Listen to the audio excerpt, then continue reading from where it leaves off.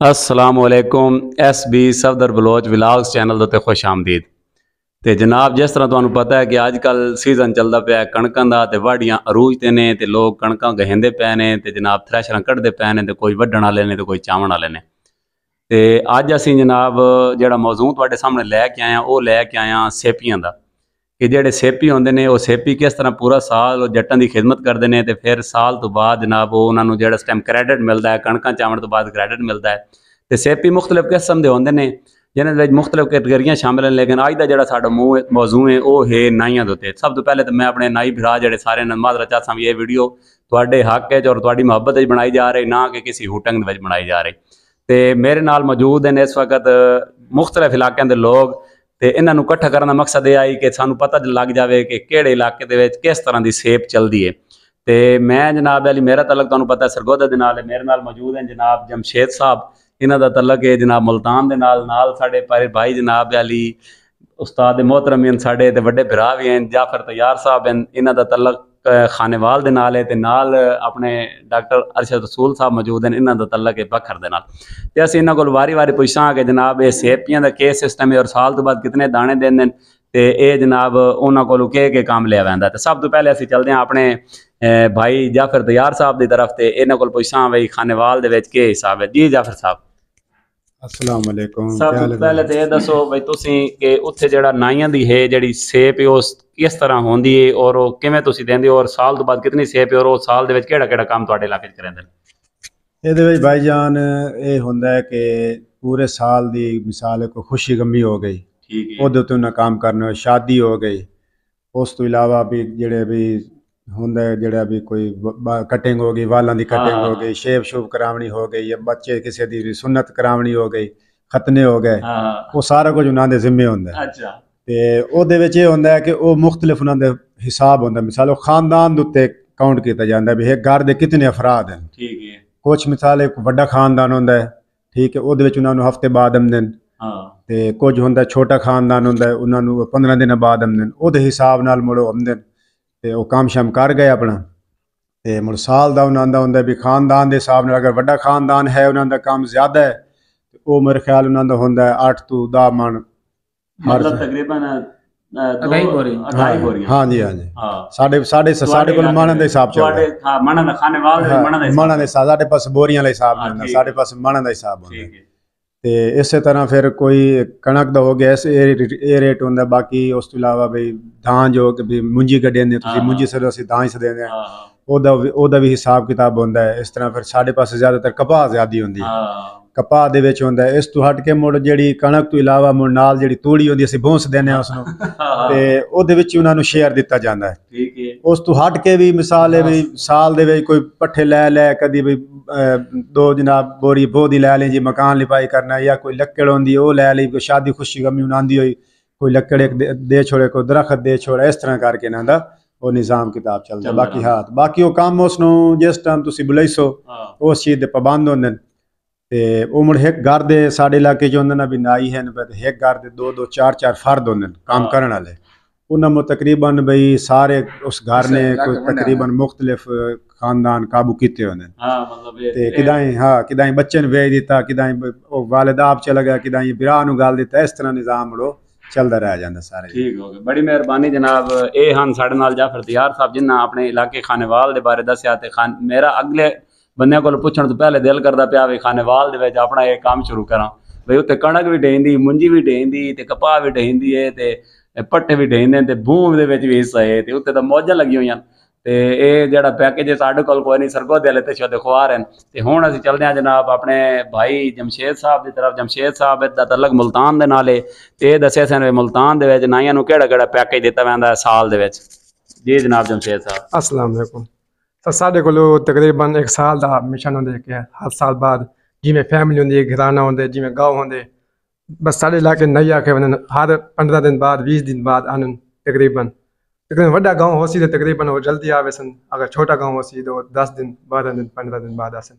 उस तो बाद हर बंद की कटिंग करे सन कटिंग करके फिर चले जा सन फिर शादी है खुशी है गमी है फिर देगा तैयार करना सन। हाँ। अगर खुशी है तो देगा तैयार सन गमी है तो सब देगा पकड़ी हाँ। उस उस तो बाद ਤਕਰੀਬਨ ਤਕਰੀਬਨ 20 ਤੋਂ 25 ਦੀ ਨਾ ਨਾ 20 ਤੋਂ 25 ਕਿਲੋ ਫੀ ਬੰਦੇ ਦਾ। ਹਾਂ।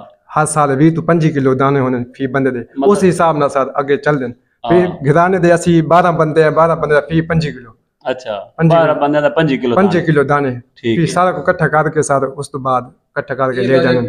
ਇਹ ਇੱਕ ਨਵੀਂ ਗੱਲ ਹੈ ਇਹ ਇੱਕ ਨਵੀਂ ਗੱਲ ਹੈ। ਇਹ ਨਵੀਂ ਗੱਲ ਹੈ। ਅੱਛਾ। ਨਹੀਂ ਨਹੀਂ ਸਰ ਨਵੀਂ ਗੱਲ ਉਸ ਤੋਂ ਬਾਅਦ ਸਰ ਜਿਵੇਂ ਆਨੰਦ ਕਟਿੰਗ ਕਰਨ ਕਿਤੇ ਆਨੰਦ ਫਿਰ ਪੱਠੇ ਲੈ ਗਏ। ਵੀ ਮੈਨੂੰ ਪੱਠੇ। ਚਾਹੀਦੇ ਮੈਂ ਜਾਨਵਰ ਨੂੰ ਪੱਠੇ ਡਾਲਣ ਫਿਰ ਮੈਨੂੰ ਤੂੜੀ ਹੋ ਗਈ ਸਸਰੇ ਭੂੰ ਛੱਡ ਦੇ ਭੂੰ ਦੇ ਦਿਓ ਤਕਰੀਬਨ। ਉਸ ਤੋਂ ਬਾਅਦ ਖਾਲ ਚੋਕਾ ਜਿਹੜੀ ਚੀਜ਼ ਆ ਉਹ ਲੈ ਜਾਣੇ। ਹੂੰ। ਸਾਡੇ ਹਾਂ ਦੇ ਇਹ ਨਿਜ਼ਾਮ ਹੈ ਉਸ ਤੋਂ ਬਾਅਦ। ਸਾ ਖਾਤ ਕਰਾਇਆ ਕਟਿੰਗ ਕਰਾਈ। ਉਸ ਤੋਂ ਅੱਛਾ। ਦਾਦਾ ਹੋ ਗਿਆ ਸਾਰੇ ਚਾਚੂ ਸਾਰੇ ਕਜ਼ਨ ਵਗੈरह ਸਾਰੇ ਉਸੇ ਕਰਾਣੇ ਚਲੋ ਠੀਕ ਸਾਡੇ ਹੈ। ਕੋਲ ਇਹ ਨਿਜ਼ਾਮ ਹੈ। ਤੇ ਇਹ ਜਨਾਬ ਇਹ ਤਾਂ ਮੁਲਤਾਨ ਦੇ ਵਿੱਚ ਤਾਂ ਬੜੀ ਹੈ ਹੋਰ ਮਾਹੌਲ ਹੈ। ਮਤਲਬ ਤੁਹਾਡੇ ਸਾਰੇ ਬੰਦਿਆਂ ਨੂੰ ਇਕੱਠੇ ਕਰਨ ਦਾ ਮਕਸਦ ਇਹ ਹੈ ਕਿ ਮੁxtਲਫ ਇਲਾਕਿਆਂ ਦੇ ਬਾਰੇ ਸਾਨੂੰ ਪਤਾ ਲੱਗ ਵਜੇ ਕਿ ਉੱਥੇ ਨਾਈਆਂ ਨੂੰ ਹਾਂ, ਤੇ ਇਸ ਤੋਂ ਪਹਿਲੇ ਕਿ ਮੈਂ ਡਾਕਟਰ ਸਾਡੇ ਇਲਾਕੇ 'ਚ ਇੱਕ ਹੋਰ ਇਹਨਾਂ ਦੇ ਕੋਲ ਵੀ ਕੰਮ ਲਿਆ ਜਾਂਦਾ ਵੀ ਜਿਵੇਂ ਸ਼ਾਦੀ ਹੁੰਦੀ ਨਾ ਹਾਂ। ਸ਼ਾਦੀ ਦੇ ਜਿਹੜੇ ਕਾਰਡ ਹੁੰਦੇ ਨੇ ਇਹ ਵੀ ਤਕਸੀਮ ਜੀ। ਹਾਂ, ਗੱਡ ਦੇਵਣਾ। ਗੱਡ ਦੇਵਣਾ ਤਕਰੀਬਨ ਕਾਮਨ ਗੱਲ ਹੈ। ਗਾ- ਗੱਡ ਇਹ ਨਿਜ਼ਾਮ ਹਾਂ, ਹੈ। ਸਾਡੇ ਉਹ ਕੋਲ ਤੁਸੀਂ ਕੀ ਉਹਨੂੰ ਆਦੇ ਹੋ ਗੱਡ ਦੇਵਣਾ ਸੱਦਾ ਦੇਵਣਾ।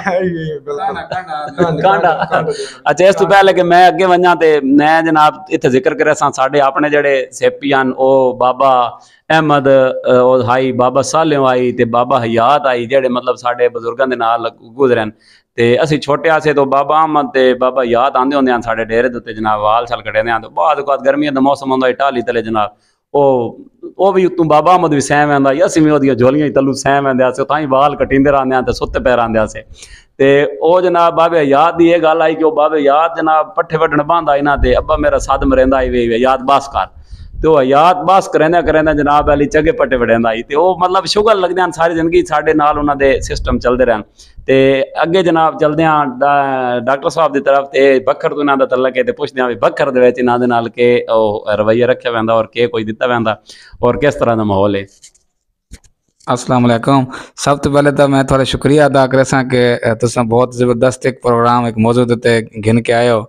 ਦੂਸਰਾ ਨੰਬਰ ਤੇ ਇਹ ਕਿ ਅ, ਜਹਾਂ ਤੱਕ ਇਸ ਮ, ਗਿਣਨ ਜਾਂ ਦੇਵਣ ਦਾ ਹਵਾਲੇ ਨਾਲ ਤਾਲੁਕ ਹੈ ਮੈਂ ਉਹਨਾਂ ਨਈਆਂ ਕੋਈ ਸਲਾਮ ਪੇਸ਼ ਕਰਨਾ ਜਿਹੜੇ ਨਾ ਸਰਦੀ ਦੇ ਦੇਣ ਨਾ ਗਰਮੀ ਦੇ ਦੇਣ ਈਦ ਹੋਵੇ ਬਕਰੀਦ ਹੋਵੇ ਮੁਹਰਮ ਹੋਵੇ ਜਿਹੜਾ ਨਹੀਂ ਤੁਸੀਂ ਉਹਨਾਂ ਕੋ ਸੱਦ ਮਾਰੋ ਨਾ ਉਹ ਜਨਾਬ ਅਲੀ ਬਿਸਮਿਲ੍ਲਾ ਕਰਕੇ ਤੁਹਾਡੇ ਫੌਰਨ ਠੱਕਾ ਦਰਵਾਜ਼ੇ ਤੇ ਲੱਗਦੇ ਹਨ ਤੇ ਦੂਜੇ ਨੰਬਰ ਤੇ ਇਹ ਕਿ ਮੈਂ ਤੁਹਾਨੂੰ ਇੱਕ ਛੋਟੀ ਜਿਹੀ ਮਿਸਾਲ ਵੀ ਦੇ ਸਾਂ ਮੇਰੇ ਜਨਾਬ ਅਲੀ ਅੱਲਾਹ ਤਾਲਾ ਜੰਨਤ ਦੇ ਕਦਵੇ ਦਾਦਾ ਹਜ਼ੂਰ ਕਰਾਚੀ ਚ ਆਏ ਉਹਨਾਂ ਕੋ ਜਨਾਬ ਅਲੀ ਦਾੜੀ ਥੋੜੀ ਵੱਧ ਗਈ ਤੇ ਖਤ ਕਰਾਉਣ ਆਈ ਅਸਾਂ ਕਰਾਚੀ ਸ਼ਹਿਰ ਦੀ ਜਾਰੀ ਕਲੇ ਤੇ ਪੰਜਾਬ ਦੇ ਮਾਹੌਲ 'ਚ ਬੜਾ ਫ਼ਰਕ ਹੁੰਦਾ। ਹੈ।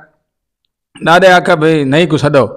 ਅਸਾਂ ਆਖਿਆ ਚਾਚਾ ਇੱਦਾਂ ਤਾਂ ਨਹੀਂ ਨਹੀਂ ਆਂਦਾ ਇੱਦਾਂ ਤਾਂ ਨਹੀਂ ਦੀ ਦੁਕਾਨ ਤੇ ਮਿਲਣਾ ਪੋਸੀ ਅੱਛਾ ਓਕੇ ਸੋਕੇ ਮੇਰੇ ਚਾਚੇ ਨੇ ਨਾ ਮਤਲਬ ਵੀ ਦਾਦੇ ਨੂੰ ਰਾਜ਼ੀ ਕੀਤਾ ਮੋਟਰਸਾਈਕਲ ਤੇ ਬਿਲਾ ਕੇ ਤੇ ਜਿਸ ਟਾਈਮ ਘਿਨ ਕੇ ਗਿਆ ਨਾ ਨਹੀਂ ਦੀ ਦੁਕਾਨ ਤੇ ਉੱਥੇ ਤਾਂ ਬਈ ਠੀਕ ਠਾਕ ਰਸ਼ ਲਗਾ ਵੀ ਆਈ। ਉਸ ਆਖਿਆ ਵੀ ਇਹ ਚੰਗੀ ਗੱਲ ਹੈ ਉੱਥੇ ਸਾਡੇ ਇਲਾਕੇ ਚ ਨਹੀਂ, ਸਾਡਾ ਇੰਤਜ਼ਾਰ ਕਰਨ ਦੇਣ ਇੱਥੇ ਜਨਾਬ ਵਾਲੀ ਅਸੀਂ ਨਹੀਂ ਦੇ ਕੋਲ ਅੱਧਾ ਘੰਟਾ ਹੋ ਗਿਆ ਬੈਠੇ ਸਾਡਾ ਨੰਬਰ ਨਹੀਂ ਆ ਰਿਹਾ। ਤਾਂ ਇਹ ਇੱਕ ਸਭ ਤੋਂ ਮਜ਼ੇ ਦੀ ਉੱਥੇ ਜਿਹੜੀ ਗੱਲ ਹੈ ਨਾ, ਯਾਨੀ ਕਿ ਜੇ ਗੱਲ ਕਰਨ ਦਾ ਮਿਸਾਲ ਦੇਣ ਦਾ ਮਕਸਦ ਹੈ ਕਿਸੇ ਦਿਲ ਕਰਨਾ ਨਹੀਂ। ਮਕਸਦ ਇਹ ਹੈ ਕਿ ਭਈ ਦੇਖੋ ਉੱਥੇ ਕਿਤਨਾ ਇੱਕ ਉਹਨਾਂ ਨੂੰ ਮਜ਼ਾ ਆਉਂਦਾ ਹੈ ਕਿ ਉਹ ਜਿਸ ਟਾਈਮ ਫੋਨ ਕਰਨਾ ਨਾ ਭਾਈ ਆ ਜਾਓ, ਮੇਰੇ ਅੱਜ ਬੱਚਾਂ ਦੇ ਜਾਂ ਕਿਸੇ ਮੇਰੇ ਦੋਤਰੇ ਦੇ ਪੋਤਰੇ ਦਾ ਖਤਨਾ ਕਰਨਾ ਹੈ ਜਾਂ ਵਾਲ ਕਰਨਾ ਉਹ ਭਾਈ ਨਹੀਂ, ਉਸ ਟਾਈਮ ਤਿਆਰੀ ਸ਼ਿਆਰੀ ਕਰਕੇ ਤੇ ਡੇਰੇ ਤੇ ਪਹੁੰਚ ਜਾਂਦਾ ਹੈ। ਉਹ ਬੈਠਕ ਤੇ ਆਸੀ ਉਸ ਨੂੰ ਜਨਾਬ ਵੀ ਤੁਸੀਂ ਚਾਹ ਪਿਲੇ ਸੋ, ਪਾਣੀ ਪਿਲੇ ਸੋ। ਉਹ ਜਿਸ ਵਾਲ ਕਟਾਉਣੇ ਨਾ, ਉਹ ਆਰਾਮ ਨਾਲ ਆਂਦਾ ਪਤਾ ਜੀ ਮਜ਼ਾ, ਮਜ਼ੇ ਨਾਲ ਆਸੀ ਤਾਂ ਮਤਲਬ ਉਹਨਾਂ ਲੋਕਾਂ ਨੂੰ ਅਗਰ ਉਹ ਦਾਣੇ ਜੇ ਉਹਨਾਂ ਨੂੰ ਫਾਇਦਾ ਨਹੀਂ ਨੂੰ ਵੀ ਹੈ ਕਿ ਉਹ ਸਾਲ ਦੇ ਇੱਕ ਦਾਣੇ ਗਿਣ ਗਿਣਦੇ ਹਨ। ਜਿਹੜਾ ਫਾਇਦਾ ਲੋਕਾਂ ਨੂੰ ਹੈ, ਉਹ ਇਹ ਹੈ ਕਿ ਉਹਨਾਂ ਦੀ ਆਪਣੀ ਇੱਕ ਚਸ ਹੈ। ਰਾਤੀ ਜਿਸ ਨੇ 12 ਵਜੇ ਬਾਰਕ ਦਾਨਾ ਨਾ 12 ਵਜੇ ਆਖਣਾ ਵੀ ਆ ਬਈ ਸਰ ਵਾਲ ਕੱਟ। ਤਾਂ ਭਾਈ ਉਹ ਆ ਕੇ ਵਾਲ ਕੱਟਵਾਣਾ ਹੈ। ਤੇ ਲਿਹਾਜ਼ਾ ਇਹ ਬਹੁਤ ਇੱਕ ਜ਼ਬਰਦਸਤ ਉੱਤੋਂ ਦੀ ਰਵਾਇਤ ਹੈ। ਔਰ ਇਹ ਸਦੀਆਂ ਤੋਂ ਆਂਦੀ ਪਈ ਹੈ।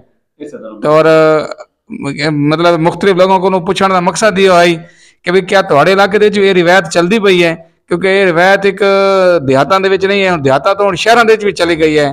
ਬਈ ਇਸ ਤਰ੍ਹਾਂ ਦਾ ਇੱਕ ਹਾਇਰ ਕਰ ਗਿਣਨਾ ਨਹੀਂ ਤਾਂ ਕਿ ਉਹਨਾਂ ਦਾ ਜਿਹੜਾ ਹੈ ਟਾਈਮ ਦੀ ਬਚਤ ਹੋ ਜਾਵੇ ਕਿਉਂਕਿ ਅੱਜ ਕੱਲ ਮਹਿੰਗਾਈ ਦਾ ਦੌਰ ਹੈ ਰਸ਼ ਦਾ ਦੌਰ ਹੈ। ਜਿੱਥੇ ਦੁਕਾਨ ਤੇ ਵੰਜੋ ਕੋ ਜਨਾਬ 10 ਬੰਦੇ ਦਾ ਪਹਿਲੇ ਬੁੱਕ ਨੇ ਹਾਂ, ਠੀਕ ਹੈ ਭਾਈ ਤੇ ਇਸ ਤੋਂ ਬਾਅਦ ਬਾਕੀ ਬਹੁਤ ਸ਼ੁਕਰੀਆ, ਇਹ ਸਭ ਦਾ।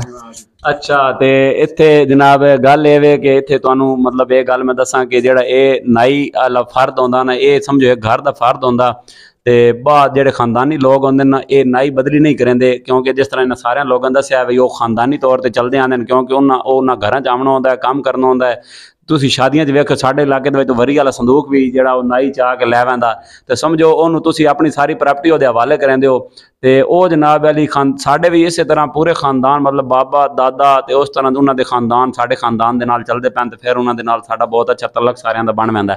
ਤੇ ਇਸੇ ਗੱਲ ਦੇ ਨਾਲ ਇਸ ਦੀ ਵੀਡੀਓ ਨੂੰ ਐਂਡ ਕਰਨੇ ਆ ਤੇ ਜਨਾਬ ਮੈਂ ਇੱਥੇ ਜ਼ਰੂਰ ਜ਼ਿਕਰ ਕਰਿਆ ਸਾਂ, ਜਿਹੜੇ ਹੁਣ ਮੇਰੇ ਬਹੁਤ ਅੱਛੇ ਦੋਸਤ ਨੇ ਜਨਾਬ, ਜਿਤਨੇ ਵੀ ਹੁਣ ਤਾਂ ਬਾਰ-ਬਾਰ ਹੋ ਗਿਆ। ਹਨ ਤੇ ਉਹਨਾਂ ਸਾਰਿਆਂ ਦਾ ਕਿ ਤੁਸੀਂ ਮੁਫ਼ਤਾਂ ਵੰਡੋ ਮੁਫ਼ਤਾਂ ਦਿੱਤੀਆਂ ਕਰੋ। ਤੇ ਤੁਹਾਨੂੰ ਇੱਕ ਫਿਰ ਇੱਕ ਦਿਨ ਜ਼ਹਿਮਤ ਦੇ ਸੀ ਫਿਰ ਕਿਸੇ ਹੋਰ ਸੇਪੀ ਦੇ ਉੱਤੇ ਅਸੀਂ ਗੁਫਤਗੂ ਕਰ ਸੀ ਇਨਸ਼ਾਅੱਲਾ ਤੇ ਅਗਲੇ ਕਿਸੇ ਵਿਲਾਗ ਦੇ ਵਿੱਚ। ਤੇ ਤਬ ਤੱਕ ਇਜਾਜ਼ਤ ਦਿਓ। ਤੁਸੀਂ S B Safdar Baloch vlog ਨੂੰ ਸਬਸਕ੍ਰਾਈਬ ਲਾਜ਼ਮੀ ਕਰਨਾ ਅੱਲਾ ਹਾਫਿਜ਼।